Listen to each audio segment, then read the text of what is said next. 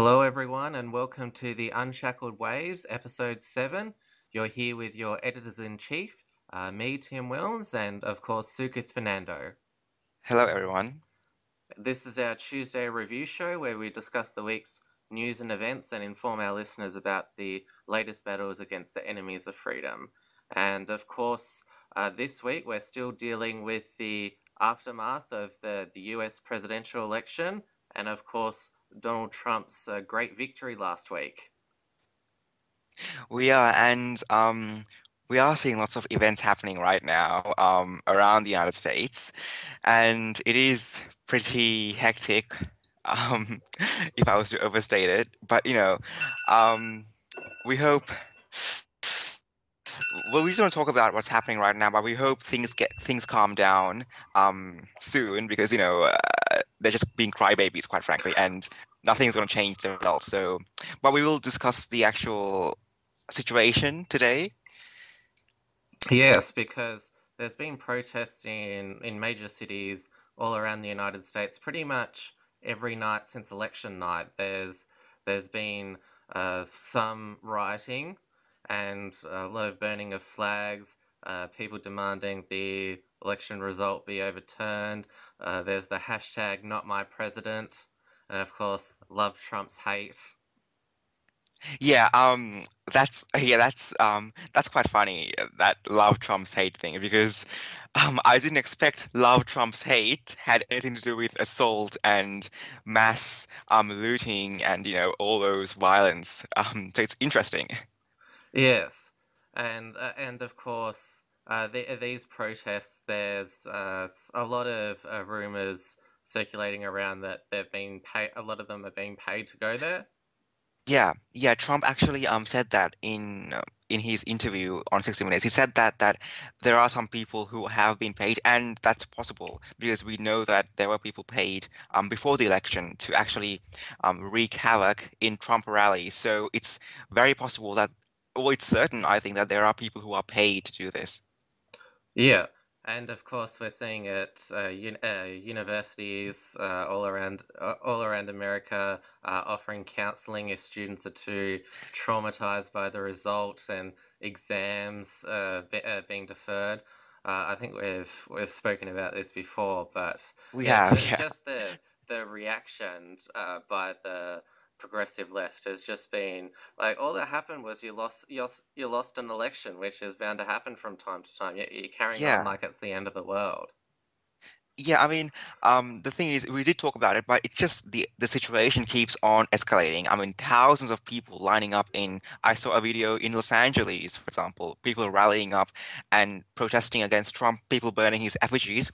It's just escalating, and the thing is, um, uh, it's quite frankly, I saw an article that said, um, you know, this is what, what Republicans might have felt um, if, when Obama won a second time. You know, well, we didn't actually feel so offended or triggered, but we were disappointed. And I think it's important that the Democrats, the Hillary supporters, understand that you know that they they, they are bound to lose an election one day.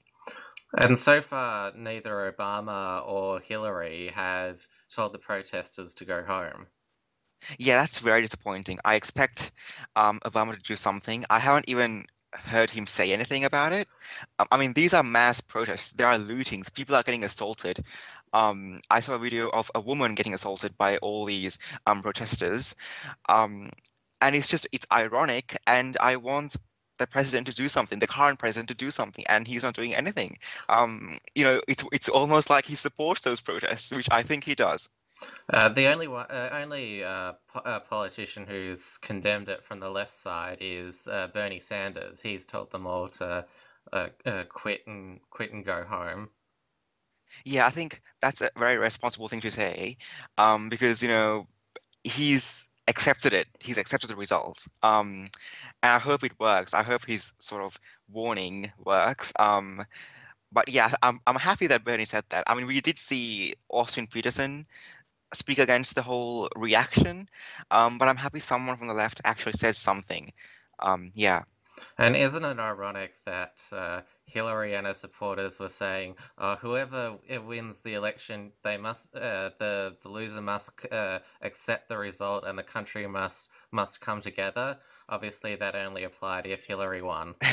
yeah, it only applies if Hillary Clinton won the election, not if Trump won. Um, and now that Trump won, it's a different. It's it's upside down now. You know, the left was saying something else previously, but they're doing the exact opposite. Love trumps hate. You know, um, peace and love, etc. All those hashtags and quotes they had about Hillary, but now it's all overturned and it's all hate and violence. And as I said, I didn't expect love trumping hate to have so much assault involved in it. So it's interesting. Well, uh, one of their main arguments is that uh, even though Trump uh, decisively won the electoral college, Hillary's still in front in the in the Yeah. popular vote. Yeah. Um, that's uh, they have. a- I think they have a point when you look at the numbers, but it's only six hundred thousand people. So I get. I mean, I get what they mean. I understand, but it's only six hundred thousand people extra that Hillary has. Um, and we have seen reports that actually three million, three million illegal migrants Yes. voted. Um, so you know, and guess who they voted for? So um, I think if you remove the three million from Hillary, then she has what 60 million, 60 million 900,000 right now. That means she probably has like 57 million right now. Um, if those three million people did vote. So no, she's most likely um, she's not even leading Trump most likely because if three million people voted, illegals voted for her, then you know, come on.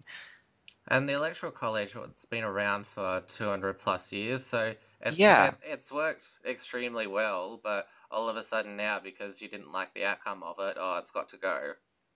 Yeah, exactly. Um, the the thing is, it doesn't matter if, in terms of the popular vote, one candidate gets it because that's not how you count it. The electoral this system actually makes sure that there is no bias because if they counted the popular vote, um, then the actual results will be sort of skewed towards the metro urban areas, and this system makes sure that there's um, actually a bit more um, equality, sort of in a, in a sense, between the urban areas and rural areas. So that's why this system is the fair way. It, I mean, I we know that she has 600,000 extra supporters, um, as in voters, but the thing is, it's we, just don't do that. You know, it's the it's unfair to just look at the popular vote. That's why we have this system in place. Plus, we don't actually know if there was no electoral college what the popular vote- would have been because there Yeah. are safe blue states such as California and New York where probably a lot of Republicans didn't bother to vote because they knew that the state was just going to be uh, Democrat anyway. Yeah, yeah, and I mean, we've seen the map. Most swaths, like swaths of land in the US are all red. I mean, most areas are all red. So, um, it's the pro the protests are useless. You know, Trump got the most electorates, and Trump has the most land area. So, um, you know, it's just a bit immature. Not not a bit. It's very immature and irresponsible just to just protest like that. And of, and of course, there's uh, a lot of these protests protesters. They're very hysterical. They're saying, "Oh, this is going to be so horrible for women, minorities, uh, LGBT people," and they're saying, "Oh, this is this presidency is going to unleash a reign of terror." Yeah, Tim, and you made a video about that, right? You made a video about that. Yes. Um, let's hope people let's hope people watch that because no one has anything to be worried about. Women, especially women and um, the LGBT people, nothing to worry about. Trump was holding an LGBT flag on November the 1st in one of his rallies. So come on. He one of the main reasons he actually um, sort of um, escalated his anti-Muslim rhetoric was because of the Orlando attack. Because of the because of that attack in the gay nightclub, he actually sort of um, increased his um, strong stance on Islamic refugees. Um, so he's doing everything to actually protect LGBT people. I mean, in a sense.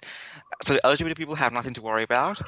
Um, and he said already he won't. Well, he he's not thinking about overturning the marriage, um, same-sex marriage um, decision by well, the Supreme deep Court. down, he doesn't have a problem with it.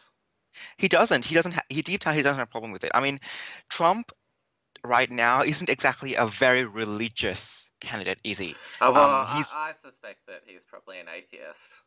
Yeah, exactly. Um, he wants to preserve, he, he does want to preserve the culture and heritage. Yes, that's true.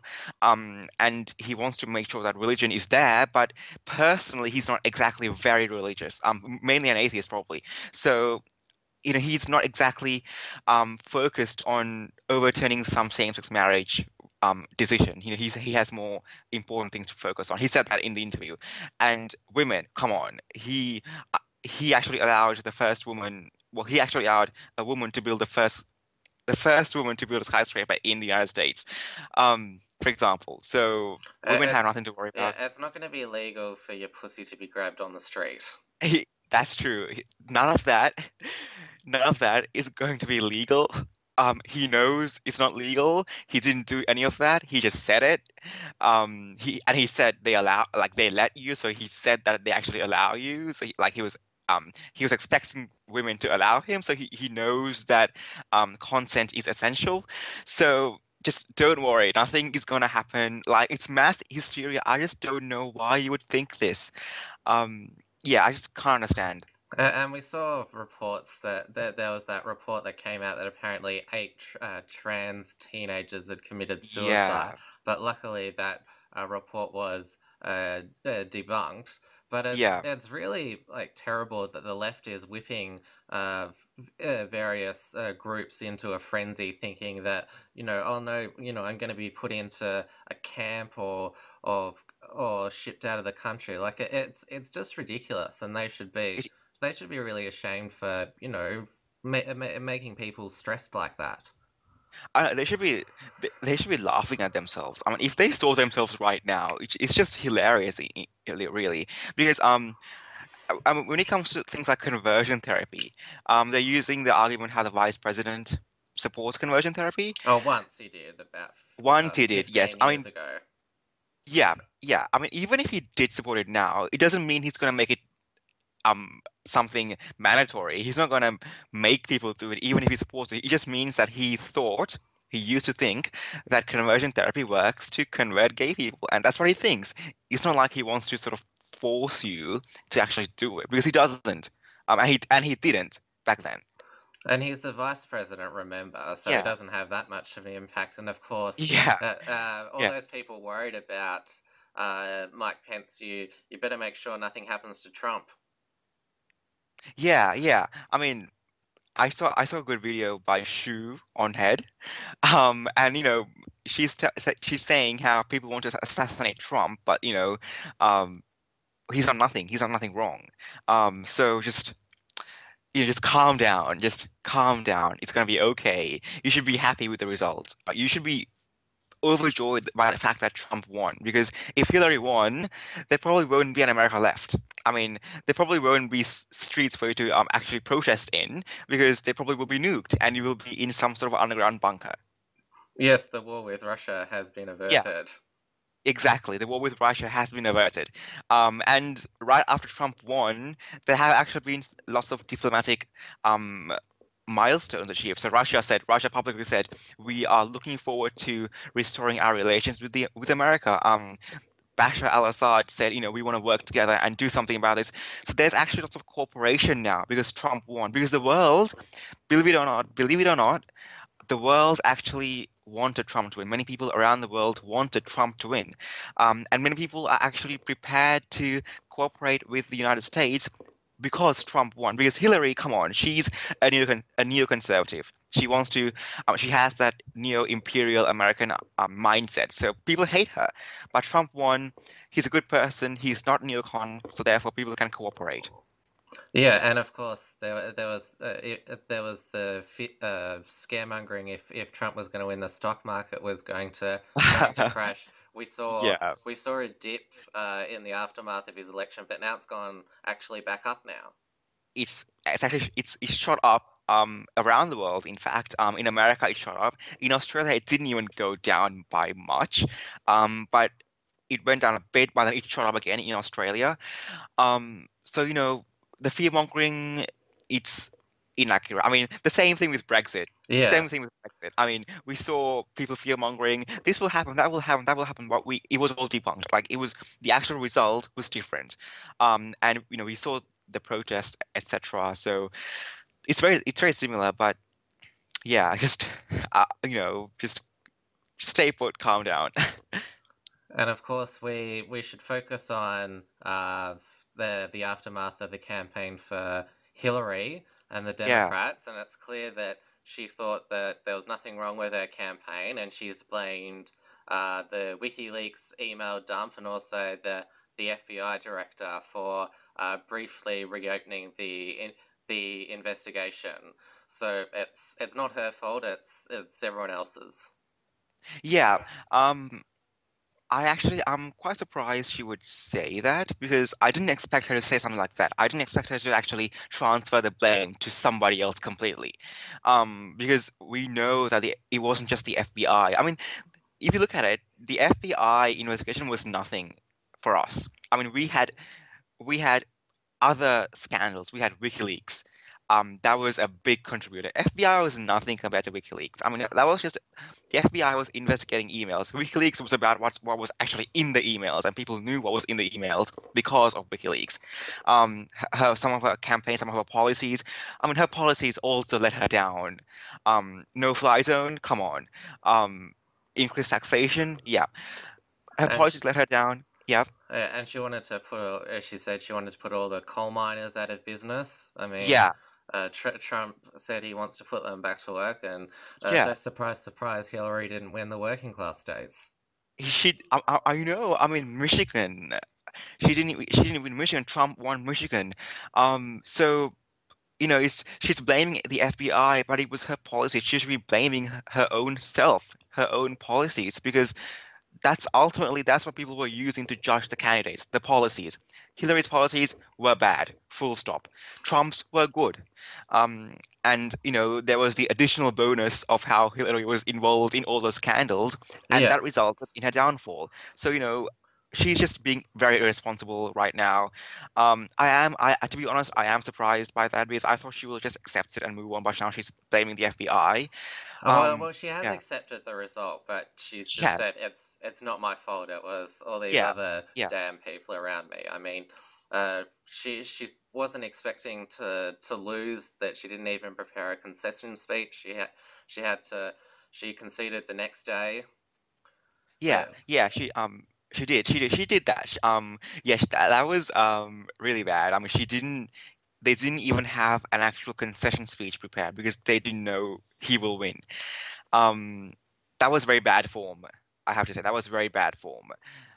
But you know, she she did accept it by just blaming someone else. Come on, you know, you're you used to be a secretary of of, of state. Um, you shouldn't be doing that. It's your fault your fault. but it wasn't just her policies, as as you yeah. suggested. It was also because she she was viewed by the American people as largely untrustworthy and yeah. and corrupt. I mean, that that's yeah. what the mainstream media did their best to hide the WikiLeaks emails, but that showed how uh, the she'd rigged the rigged the primaries against Bernie, and also how how she'd uh, of how she was colluding with the with the mainstream media and yeah, uh, pe- people just saw that and thought, look, she is part of the problem. She's part of the establishment. You know, a, a lot of people they might not have uh, liked Trump, but they thought he's a better alternative.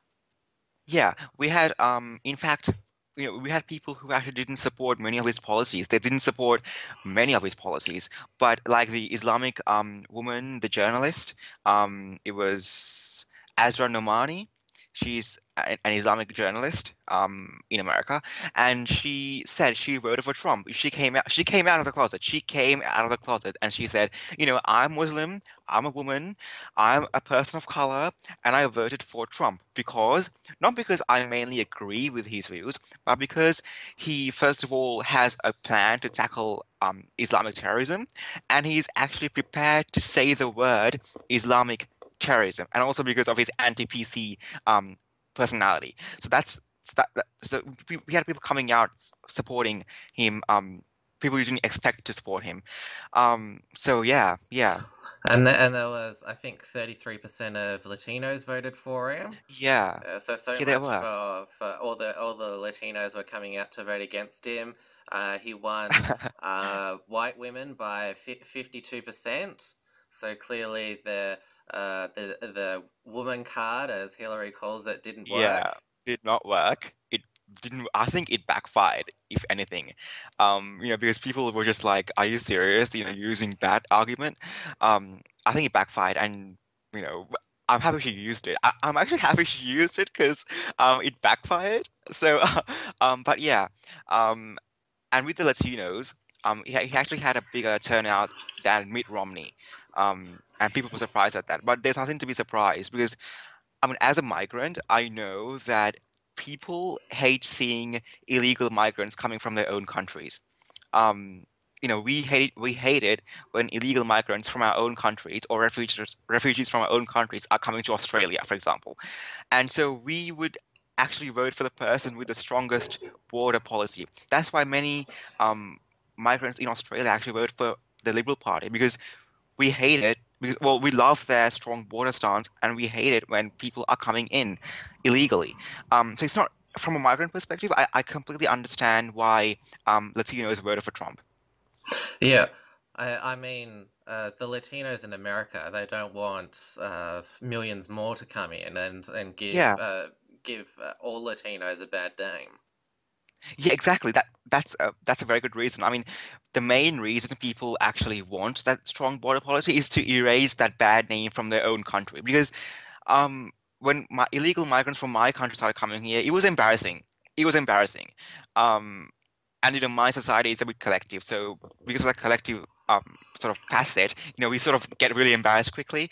Um, so it was really embarrassing, and my parents were embarrassed, for example, and that's why many people actually vote for the party with the strongest border policy. Um, and that, that's one reason. And another reason is it's just unfair. I mean, we have legal migrants who came here using the proper process, but then illegals coming here quickly, and they're getting all these benefits. $113 billion spent in America alone um, on these illegal migrants, but the legals came here properly, the hard way, but the, but the proper way. And, you know, why, why should they see illegals coming here and getting all those benefits? Yeah, and let's also remember that the new First Lady uh, will be the first uh, migrant First Lady.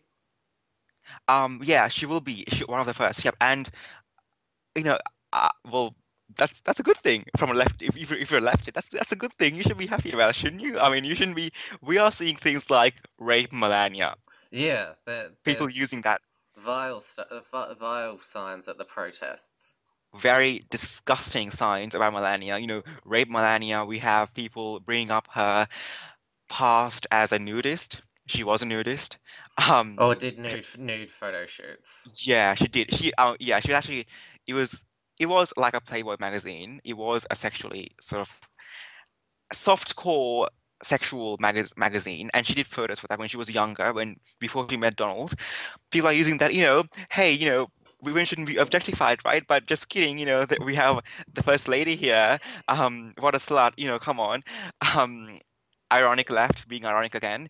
But yeah, you know, if if anything, you should be happy that the first, that this is a, an immigrant first lady. And we also, uh, over the weekend, saw Trump's first uh, interview since he became president. He gave yeah. it to uh, C- uh, CBS's 60 Minutes program. And I have to say, he was very uh, diplomatic, polite. Uh, uh, he was very complimentary to many of his opponents, uh, such as Hillary and the Bush family. So it was definitely uh, a new tone. He was trying to be uh, much more presidential, have have a much more. He, he spoke in a much more soothing voice, so he was he was very much trying to. I, I think I think trying to sort of calm calm people down, saying, you know, I'm not going to, you know. Uh, you know, you haven't elected uh, a, a lunatic as president. I thought, I thought he did, he did very well in it. Yeah, I think he did very well. Um, I think um, ultimately he has to show the country that he's a good he's a good person and he has to appeal to the lefties. Um, ultimately, he has to appeal to those left wing protesters and show them that he's about to sort of um, make sure that the country is united again. He wants to build unity, and he has to be more. He has to be more refined, and I like it. I I like um his new his new personality. But the thing is, I feel like sometimes he's going a bit too far because he was complimenting Hillary and you know saying, "Oh, she did, she's good, she did so much." Yeah, Donald, we get you want to like build unity, but just don't go too far. Yeah, I mean, Yeah. part, of the reason you were elected is because of uh, you had you had no. No, no tolerance for you know, pe- uh, as he called them, people who were who were stupid or you know just talk, talking rubbish. Like Yeah. you know, he he told he told told it how, how he saw it. I mean, uh, you know, I, I've I still would like to uh, uh, see see some of those those tweets come out at at three a.m. You know, that, that, that's why that's why uh, that, that- that's why he was elected to to be to be a bit outlandish. Exactly. I mean, I want to see, I want to see a more judicious approach to those to those tweets, but I, I still want to see some of those tweets coming in, and you know, many of them weren't even insults. I mean, New York Times said they were insults. New York Times made this whole compilation um, of his insulting tweets, but they weren't insults. They were just he was just saying it as it is, just saying it how it is. Um, and I want to see those tweets again. I, I think they will keep com- coming, um, but it's just it'll be a bit different. I mean, it won't be as frequent. Um, but yeah, because he because he does have to build his image among the lefties ultimately. Um, so yeah, I mean, he never really picked on like anyone who you know couldn't handle it. I mean, like his you know Republican opponents. I mean, I'm sure they could handle uh, a few uh, silly nicknames. I'm sure. uh, Yeah. and Me- Megyn Kelly sh- uh, could handle uh, some of the insults that were d- uh, directed yeah, way. I mean, uh, you know, there, there, there there are people who were. Uh, you know, adults who could handle it. So, yeah, exactly. They're adults. They should be able to handle criticism, especially the media. If you're in the media, you have to learn to handle not just criticism but full-on insults because that's what the job is about. You know, you'll be insulted. It's the media. Um, so Megyn Kelly, you know, just don't be offended, um, because that's just very childish, and you know, you're actually being a bit you're you're letting down down the right wing name sometimes by doing that because you know she's right wing ultimately. Um, but yeah, and she, in the interview, he also said um, he was also asked about the protests, and he was asked, um, it was the interviewer, um, she asked him about the behavior of his own supporters, alle- alleged behavior, we should say. alleged behavior of his own supporters, and I found it, you know, I found it really interesting how she asked that because, um, he, are his supporters looting? Are his supporters assaulting people? No, you know, they're not like that. I mean, they may be saying some sort of, they may be saying some politically incorrect, quasi Well, well, there's there, there's all these reports of uh, Yeah. alleged hate crimes happening. I mean, uh, yeah, yeah, you're seeing on uh, some of the mainstream news that oh, you know, there's all these uh, you know, Latino kids are being called names in schools. There's all these signs appearing everywhere. Oh, they, these are all alleged things. A, a lot of these hate crimes have have, have been de- uh, been debunked already. they have been, and the police actually came out and said, you know, this, for example, this Muslim woman, she said she was um, experiencing all this stuff, but they said, you know, that was a hoax. It was they investigated, it was a hoax. Um, and think of all the others. I mean, those are just tweets. Yeah, a tweet, anyone can write anything in yeah, those tweets. People, people can uh, put anything on the internet. Yeah. Yeah. Um, and maybe who knows? Maybe most likely they're all Clinton supporters trying to sort of rally people against Trump um, by by saying that you know we have all these hate crimes. Crimes. Yes, I understand there are some people who might be saying some bad stuff as a joke, mainly as a joke. Um, but the, but the thing is, you know, uh, they're not looting, they're not assaulting people. Um, we actually have videos of the Clinton supporters doing all that stuff. But here, here is the interviewer saying, you know, your your supporters are doing this, but you know, nothing, saying nothing negative about, about the Clinton supporters. Again, very interesting. Uh, have you seen any white supremacists on the streets of America? I, I want to see white supremacists. I want to, I, I actually want to see because it'll be really interesting to see them, you know, and it'll be hilarious. Because apparently they're they're still going on that oh he was endorsed by the Klan. Well, not really. Oh. Yeah, not yeah. Uh, Seriously, um, do they not know that Hillary said so much good things about one of their Klan members? I forgot his name. I forgot his name, but um, she said so much good things. When he died, she was just, you know, saying it was it was like a it was like a eulogy. She was just saying, you know, how good he was, how thankful I am for everything he did to me. Like, And of but the- course, she called black men super predators. She said that. She um said yeah she said that. She said that. She um in her email it was also found that she said um they're no gooders or useless people or something like that. Low information, I think it was. yeah yeah i think it was something like that. And you know come on. Uh, clinton supporters really? Really? You you ignore that? Or either ignore them or they just don't know i mean the, the media doesn't report on that stuff so And, uh, and of course, all the feminists they're claiming that a bully's been elected president. I mean, uh, this this sends a message that uh, women like your your oppressor can uh, become president. Uh, it's it's just ridiculous. I mean, we all know that Clinton. Uh, Hillary Clinton was no friend friend of women, considering the fact that she uh, she bullied uh, her husband's sexual assault victims. She did that. She also accepted she accepted countries uh, sorry countries. She accepted money from countries that suppressed women um, while pretending to be a feminist progressive. So you know she she was an enemy of women. She was an enemy of women. Many knew that. I mean we had um some people some women in interviews saying why would a woman vote for her? You know women can do so much better. She's a bad she's an evil woman um, and she doesn't represent represent women. So, you know, as I said, you should be happy that Hillary isn't there. You should be happy that Trump is there. Yeah, and don't forget uh, his campaign manager, uh, Kellyanne Con- uh, Conway. Yeah. She, she's the first woman to run a successful uh, U.S. presidential campaign. She is exactly. She's the first woman in the United States to do that, and that just shows that Trump is pro women. Come on, I mean, obviously he's pro women. His tapes show that he is pro women. Um, so um, so yeah. Um, but we also had within the interview, we also had um, he, he was giving an insight about his about his policies, um, like the wall, like Obamacare, um, and we also had um, the media sort of twisting everything um, with that. So he said that um, well, the interviewer asked him, "Will you be willing to consider offense?" And he said, "Well, in some places, yes, I can accept offense." He said, "I can accept offense in some places," and obviously, I mean, the terrain sometimes demands that um, offense is more appropriate. I do, I do Uh, hope that it's a wall all the way through. I mean, Yeah, uh, yeah. that's what he's campaigning on, but he's got to get the uh, the wall through through Congress, and uh, Yeah. obviously the the Republicans there will know that that's what he was elected on, but they'll Yeah. they'll uh, they might try to water it water it down to some degree. They might, they might. Um, and I think by saying that he might accept offense is him trying to sort of lubricate the process.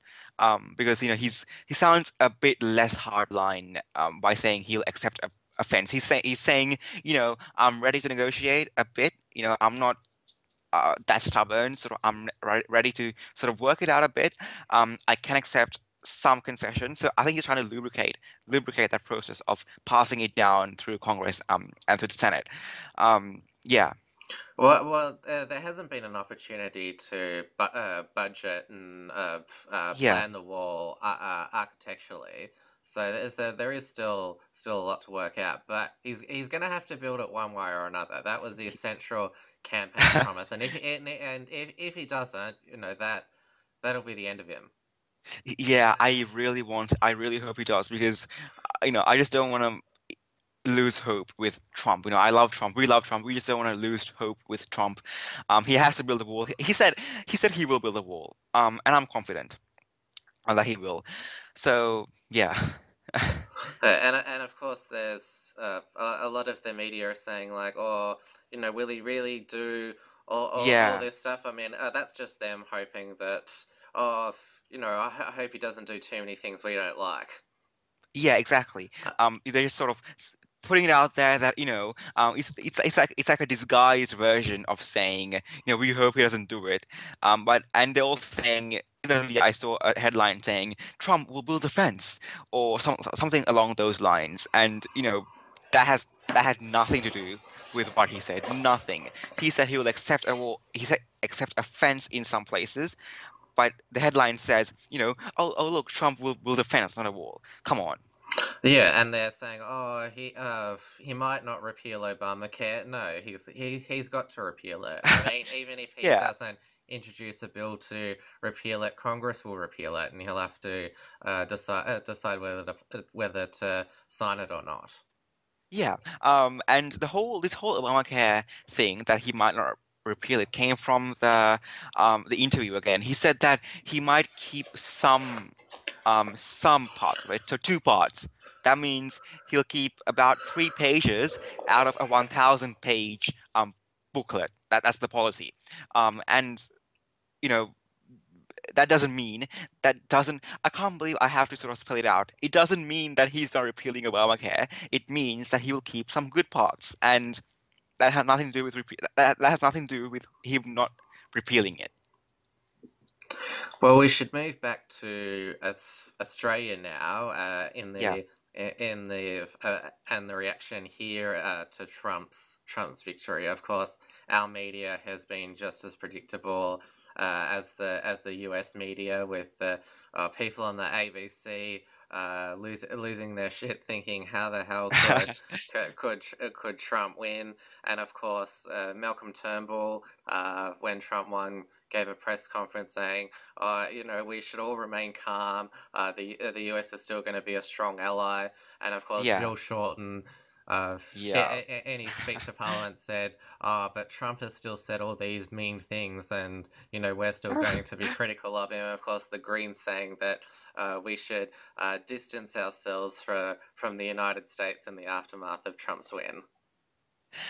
Um, the Greens, I just, I just do not know what to say. They're practically saying we should stop being allies with America simply because Trump said some mean things. Um, you know, just because, okay, just because your butt hurt doesn't mean that we should um, move away from all our relations foreign relations okay? Especially with america. America is our ally. We need, we need america. We need america right now. Um so just you know just greens just just you know just either either be constructive or just like go somewhere else because you're a waste of space. You're a waste of those leather seats in the senate okay? Just you know. Yeah uh, I mean, it's the the reason that the the Greens are carrying on hysterically like this is is because they're seeing their world world crumble now. I mean, their their yeah. green socialist utopia is falling apart because uh, the the people are rejecting it, and so now they're just they're, they're just going into full panic mode by saying, "Well, Trump's this, Trump's that. Oh, he's so awful. Oh, we've got." Yeah.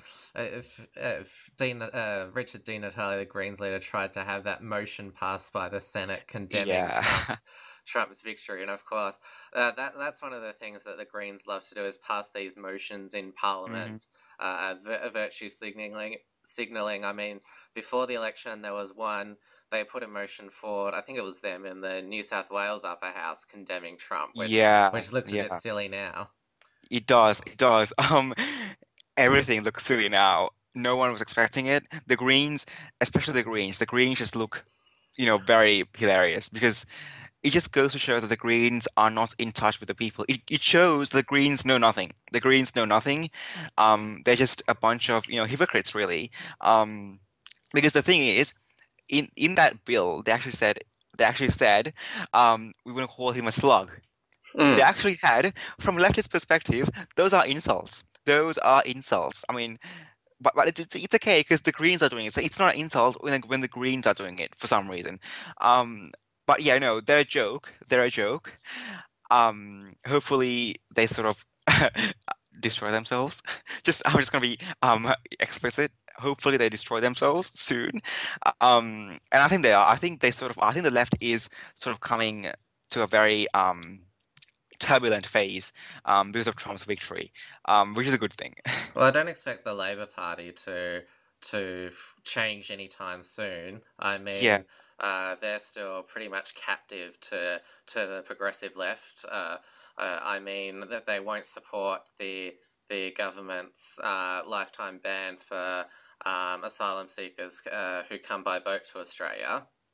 Yeah, yeah, and that just shows that they are they are slowly losing touch with the people. Um, they lost touch when they started becoming very progressive.